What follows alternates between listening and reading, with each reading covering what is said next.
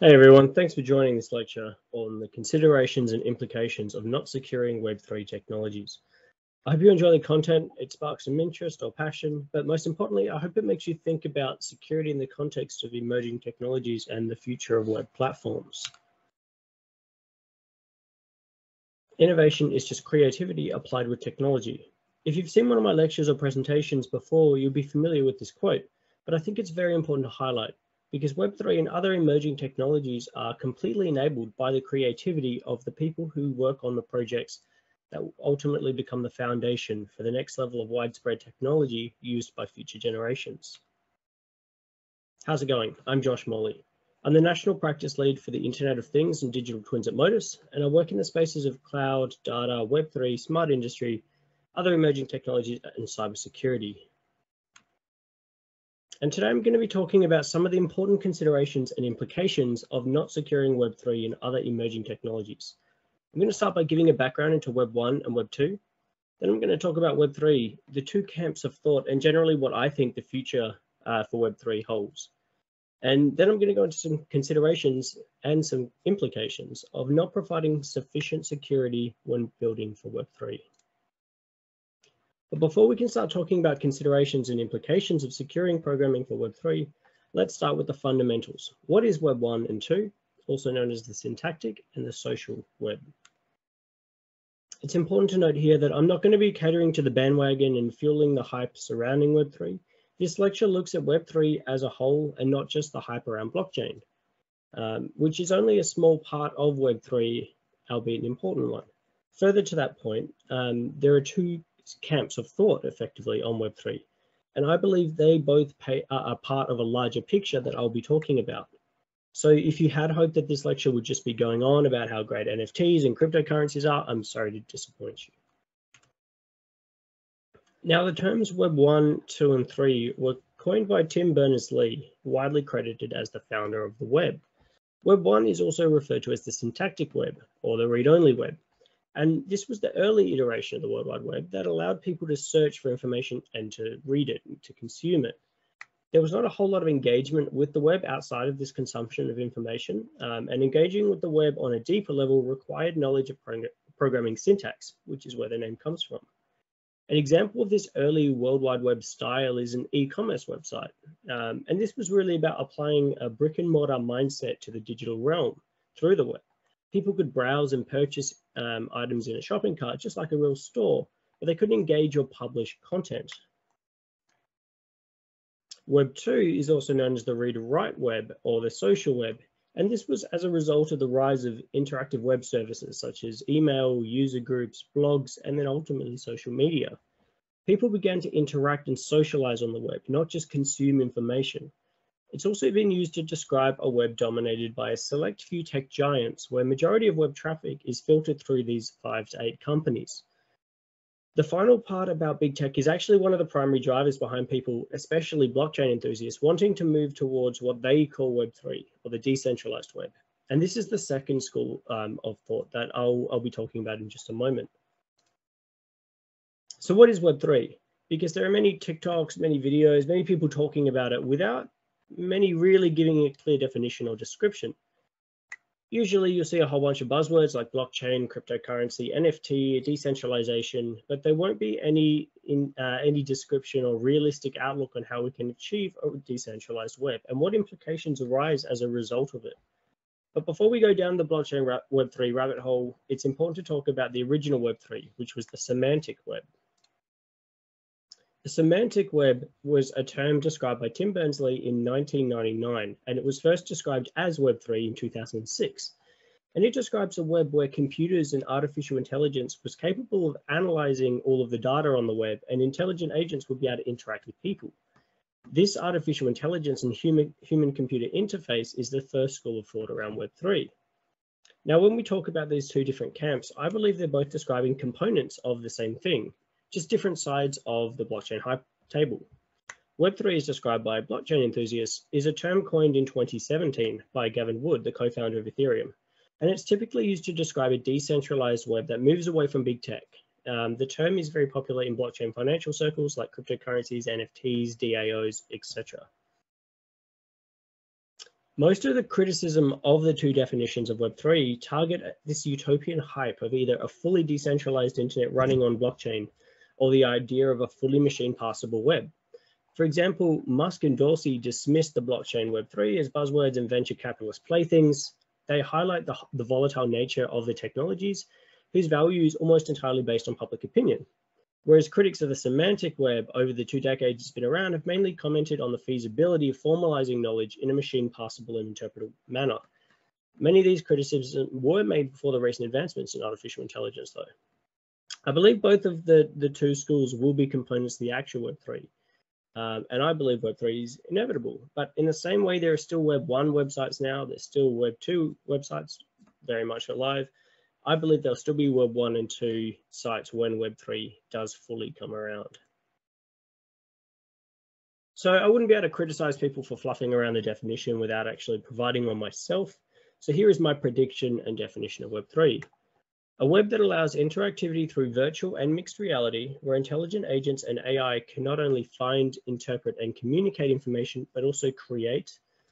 Interactions with the web will embrace mixed or virtual realities, such as the metaverse, and will be enabled by the Internet of Things, where smart devices will provide feedback, input, output, and facilitate the seamless interface with our real world environment and decentralized currencies, artifacts, and organizations will democratize parts of our web experience, bringing some of the power back into the hands of the users. But all this presents a problem, right? I gave a presentation last year talking about the security implications of the Internet of Things, and I mentioned things like pacemakers being hackable. But when we consider all the things Web3 will bring, it's an even scarier thought.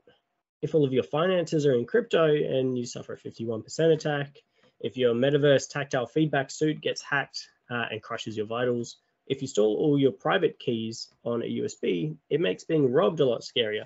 You know, it's tough to lug out a, a valuable TV or large electronic, but malicious uh, actors can begin targeting USB dev um, devices, much smaller, more mobile.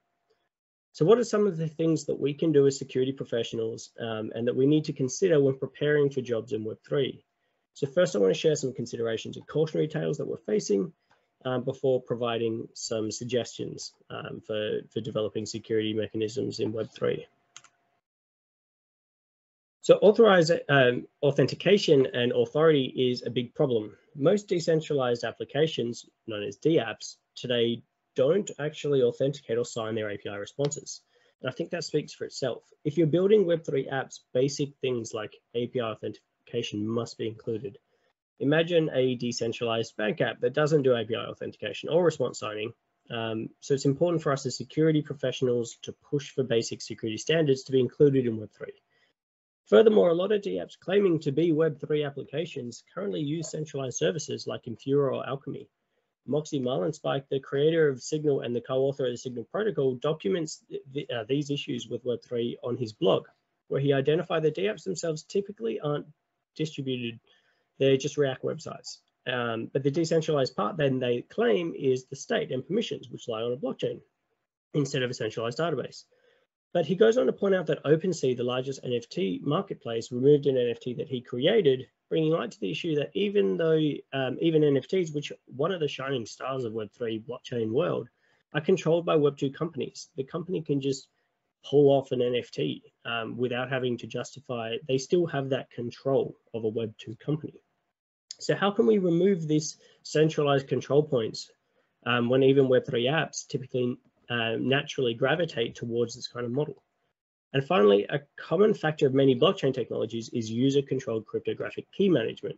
So you have a private key for your wallet, application, authentication server, and losing this key or losing possession of this key uh, is devastating so many people, um, so many people use platforms, Web 2 platforms, um, such as Coinbase, to act as a custodian or an intermediary um, to manage your private keys and wallets for you. Like I said, I don't think we'll ever fully go to a decentralized web, but a consideration for security experts in Web3 will be the management of many different cryptographic keys without relying on these centralized organizations, if that's what you're going for. A big differ differentiator of blockchain is its security um, applied in a decentralized nature.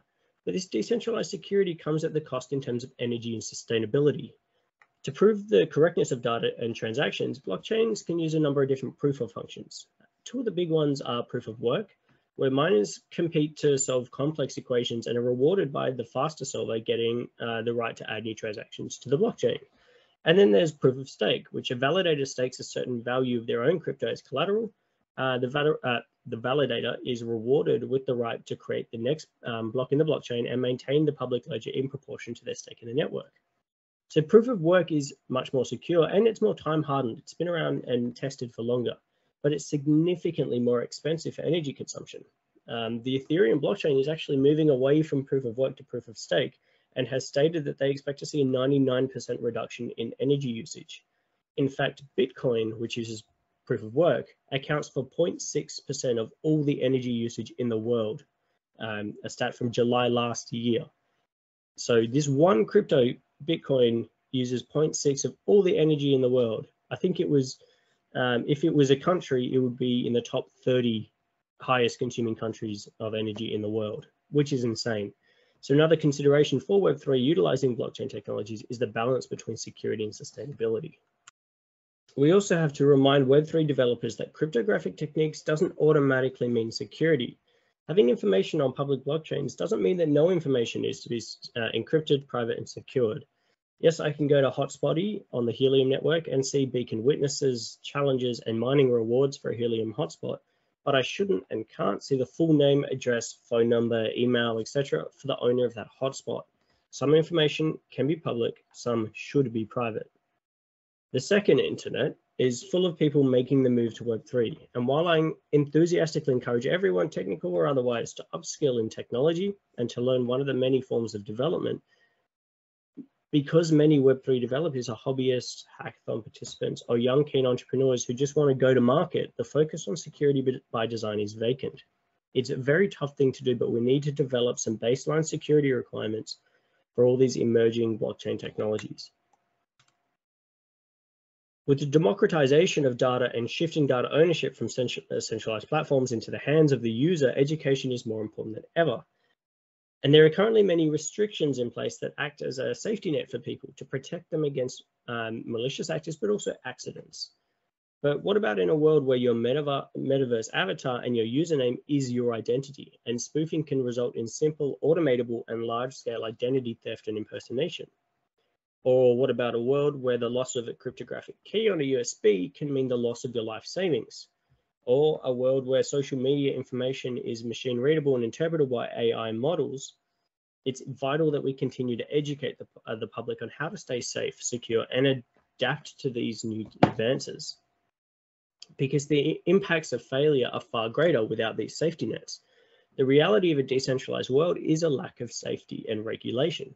We've seen kids order dozens of pizzas with their parents' credit card, but what about a kid maxing out a, a credit card on a crypto that gets rug pulled? NFT scams, enticing people to get rich quick schemes, um, Tinder swindlers dating multiple people around the world in the metaverse. And let's talk about bio-integrated technologies. I don't actually know the word to describe technologies like the biometric circuit tattoos, um, implants, or other biometric interfacing devices. So I'm just going to call them bio-integrated technologies here. Um, as we see more and more of these technologies that are integrated with our bodies and technologies that allow us to interact with mixed and virtual reality, we must ensure that they are secured. Because art imitates life. With deepfakes, um, generative adversarial networks, uh, smart chatbots, you could completely fabricate a person and have a chatbot imitating a person for mass fraud and scamming. Imagine the Tinder swindler um, where it's an AI on the other side, not a person. The scale of fraud artificial intelligence could provide is significant. And finally, how do we have accountability in a decentralized world? The recent Log4j vulnerability teaches us an important lesson on accountability and the implications for a decentralized future. Decentralized projects may mean there is no dedicated accountability. And without accountability, we need to start thinking about guarantees that we can substitute in to ensure issues are disincentivized. So I just bombarded you with a ton of information, facetious comments, and a slight tad of sarcasm. But what helpful suggestions can I give you to go out into the future of Web3 in a secure manner? So I've got some suggestions um, that you can follow to, to securely develop and, um, and work in a Web3 world. Design with ethical practices in mind, and this is hugely important when designing machine interpretable data on people. Um, so shameless self plug here, but you can read my article on the ethics of computer vision for a starting point um, into the whole ethics of, of, artificial intelligence and the applications. Um, detecting fraud and ending it um, is, is something that should be baked into your platforms. So scams, unethical use of your platform, all that stuff, you should bake in the ability to detect and to end. Um, that way people can't use your platform, Facebook, um, as a as a mechanism to to wide scale scam people. Um, many Web 2 security practices still do apply in Web 3. So generally you should adopt existing security principles by default and remove them if they don't work, rather than starting with nothing and only trying to adopt ones you think do work, adopt them by default. Consider whether decentralizing an app is, is necessary or realistic and what the implications um, on security if it is done. Consider the sustainability impact of applications and whether the heightened security is necessary. So an example of that is the proof of stake migration with Ethereum. Classify your data, what should be public and what should be private.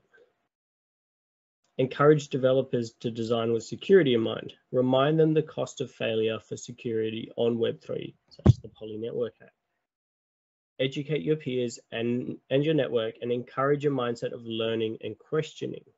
That's important. And the more dangerous it is to somebody's health, so it's physical or mental um, health, the more it should be secured. And that's the end of my lecture. Here are the slide credits for the deck that has become my staple. Thank you very much for your time and attention. I hope you got some value.